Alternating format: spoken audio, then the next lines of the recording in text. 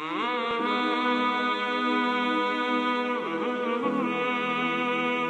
Assalamualaikum warahmatullahi wabarakatuh.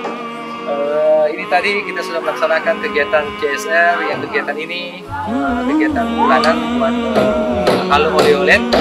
Kita berada di uh, Telkomas di permukiman warga di dekat uh, proyek kami di Dewi Bungalen. Bagaimana Ibu Iqbal?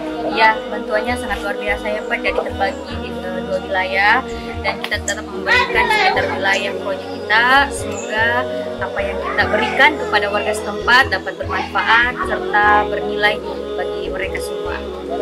Iya, alhamdulillah telah terlaksana hari ini sudah uh, CSR kita yang kesekian kalinya dan memang agenda kita memprioritaskan di sekitar masing proyek dan alhamdulillah hari ini pada hari Kamis 13 Januari 2022 telah terlaksana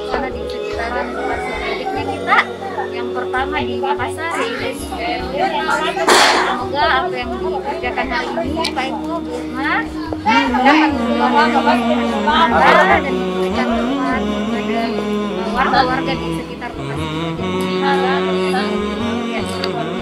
Assalamualaikum Warahmatullahi wabarakatuh.